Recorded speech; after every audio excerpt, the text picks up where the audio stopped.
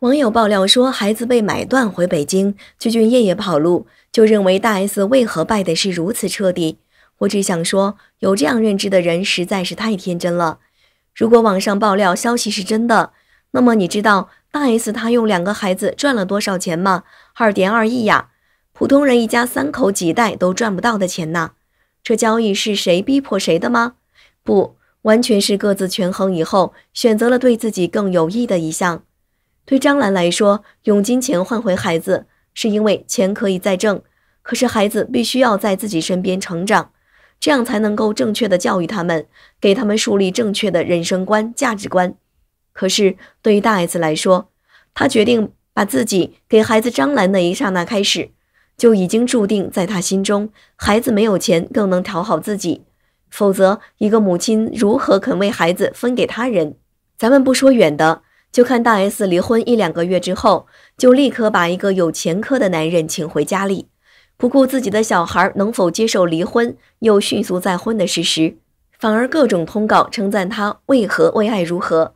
这是典型的将自己利益置于孩子利益前头。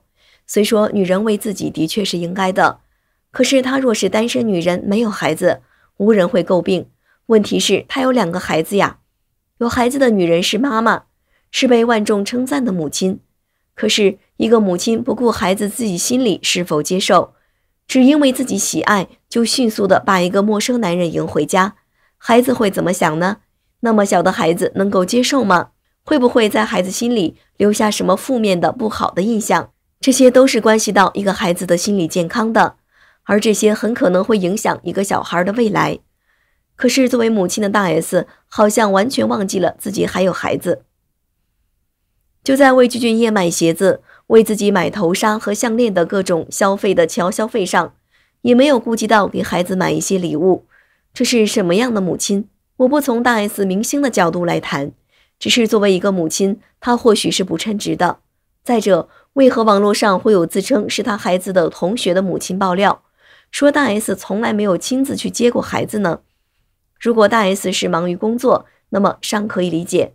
可是。他明明很久没有工作，为何还要这样？是因为不爱孩子吗？这一点我不好妄断。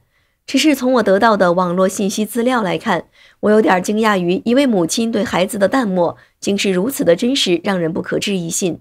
之所以说大 S 没有输的彻底，很简单，因为对他来说，按照他之前所作所为，可能孩子对他而言只是一个工具，什么也不是。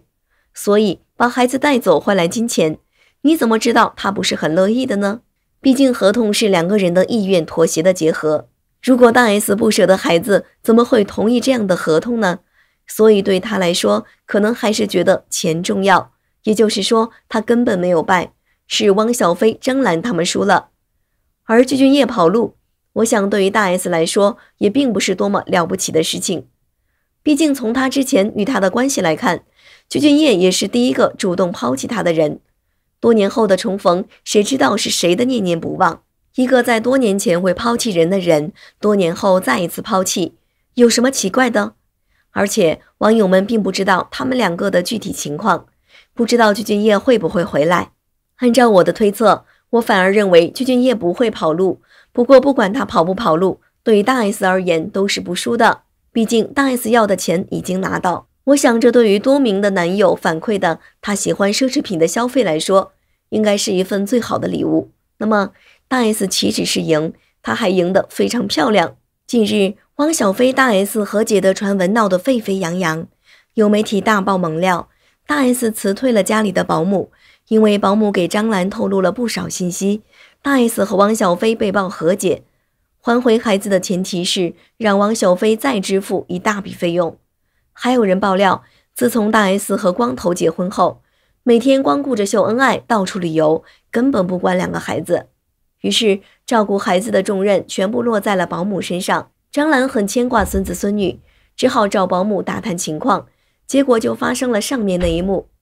这场离婚大战，一个瓜接着一个瓜，变化太快，反转太多，好像一部连续剧，错过了一些剧情就跟不上了。这不，最近又爆出一个大瓜，大 S 还孩子，前提是汪小菲再给他一大笔钱。网友立刻炸锅了。当初大 S 要孩子，要汪小菲给一大笔钱。现在大 S 还孩子，怎么又让汪小菲给一大笔钱呢？难道孩子是可以明码标价的吗？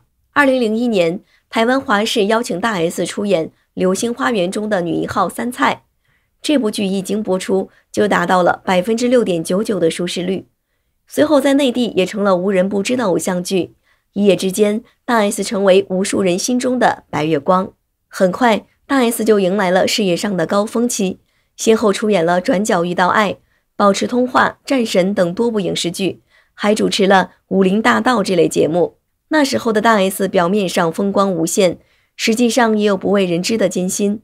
每天的档期都被排得很满，睡眠不足五个小时，吃饭毫无规律，精神压力巨大。同时，大 S 还要承担父亲欠下的高额赌债及全家人的开销，经常崩溃的大哭。也许是因为从小在缺爱的环境中长大，年纪轻轻就出来打拼的大 S 十分的渴望被爱。在大 S 还没有大红大紫之前，就和具俊晔有过一段轰轰烈烈的感情，只是受到具俊晔公司的反对，最终无疾而终，心中多少有些遗憾。之后，大 S 和蓝正龙、周渝民都有过恋爱，每一次恋爱都因为大 S 把对方抓得太紧，巴不得很快结婚，因此而不了了之。这三段感情的失败让大 S 开始担心，已经三十四岁的她已经不适合再演偶像剧，自己又不是实力派演员，总得做出一些改变。很快，这个改变就来了。二零一零年，大 S 在蓝会所参加姐妹们安以轩的生日宴，在宴会上遇到了帅气多金的汪小菲。当时的汪小菲除了京城四少的名号，还有一个耀眼的身份，那就是企业家。而汪小菲最有名的成绩，就是他在2006年打造出的专为奥运会提供高端会所的蓝会所。在奥运会期间，蓝会所作为指定接待外宾的场地，不少政界名流都聚到了那里，一时间星光璀璨。也是在蓝会所，汪小菲认识了张雨绮，两个人迅速的相恋。只不过仅仅一年的时间，张雨绮就被大 S 横刀夺爱。这段感情发展速度之快，可以说是很魔幻。从认识到结婚，大 S 和汪小菲仅仅认识了四十多天，见面四次。一个平常的日子，汪小菲对大 S 说：“要不我们结婚吧？”大 S 很快回答：“好啊。”当大 S 和汪小菲宣布正式订婚，张雨绮才从网上知道了这个消息。还有个人更吃惊，那就是安以轩。原本安以轩对汪小菲还有那么一丝幻想，没想到被大 S 捷足先登。甚至他这个红娘都没有收到汪小菲和大 S 的婚礼请帖。那场婚礼声势浩大，高朋满座，来宾都是非富即贵。婚礼的过程也很魔幻，先有搜狐张朝阳偷偷携带设备当了一回狗仔，被要求公开道歉；后有王思聪打脸张兰，他口中的所谓王健林赞助婚宴是没有的事，双方还在网上骂战了一番。末了还有康熙来了和八卦组分裂。可谓是精彩至极。婚礼之后，汪小菲和大 S 秀足了恩爱。在节目上，汪小菲表示：“我第一次见到大 S，我就觉得我要娶她。”而大 S 则说：“第一次见到汪小菲，就觉得要和他生孩子，甚至为了他放弃一切。”两个人结婚后的几年里，美容大王大 S 不顾身体走样，拼命的为汪小菲生下了一儿一女。汪小菲为了家庭，在北京和台湾之间往返七百多次，拼命赚钱满足大 S 的高消费。从节目中两个人的相处方式来看，大 S 一直把自己当成女王，而汪小菲跟他说话都是小心翼翼、卑微讨好的。这些细节无一不透露着汪小菲始终爱着大 S。然而，即使爱得死去活来的两个人，也不一定能够抵抗住日常生活的琐碎。随着汪小菲事业的滑坡，大 S 和汪小菲的感情也岌岌可危，曾经的恩爱也渐渐的消失殆尽。这世间风流云散，有时候真的只是一瞬间的事。从相爱到相杀，他们花了十年。后面的事情大家都知道了。大 S 再次闪婚，这次的对象是初恋卤蛋，而且这次闪婚更魔幻，二十多年没见面，通了个电话就要结婚了。这也就罢了。他一纸状书把汪小菲告上法庭，前前后后真是任性啊！于是张兰杀疯了。很快，大 S 被挖出婚内出轨，卤蛋有老婆孩子，有病，还有一身债务。好了，以上是本期的内容。如果你喜欢我们的节目，欢迎订阅、点赞、转发，感谢大家的支持。